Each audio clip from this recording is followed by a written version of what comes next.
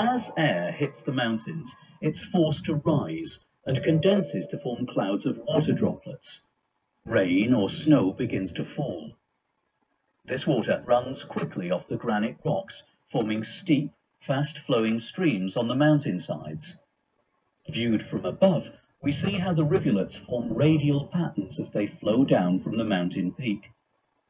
The ridges in the mountains form watersheds. These watersheds are the dividing lines of the mountain ranges.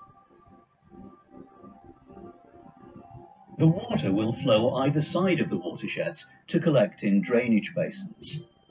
The drainage basin is the area in which all the waters that feed the river collect.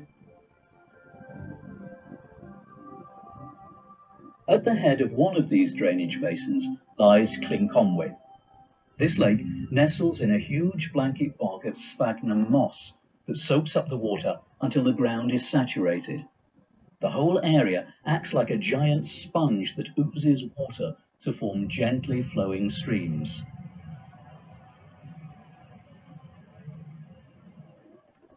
One of these streams now snakes its way down the upland valley to form the waters of the River Conwy.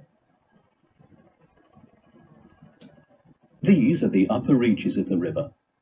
Water flows from the mountains to collect in the source of the river, Llyn The main stream that flows from it is joined by tributaries at junctions we call confluences and grows in strength.